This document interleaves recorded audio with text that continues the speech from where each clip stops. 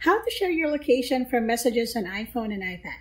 But before that, if you're new to this channel, please subscribe and hit the bell button to be updated with our latest upload. In this video, I will show you how to share your current location, share your location for extended period of time, and see who you're sharing your location with. Before you start, make sure your location services is turned on on your privacy settings. Now let's start with how to share your current location.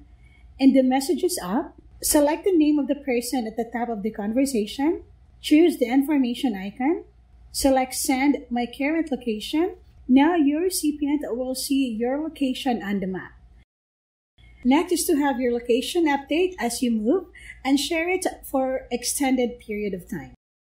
In the same page, just below the Share Your Current Location, tap on the Share My Location. You have the option to share indefinitely share until end of the day, or share for one hour.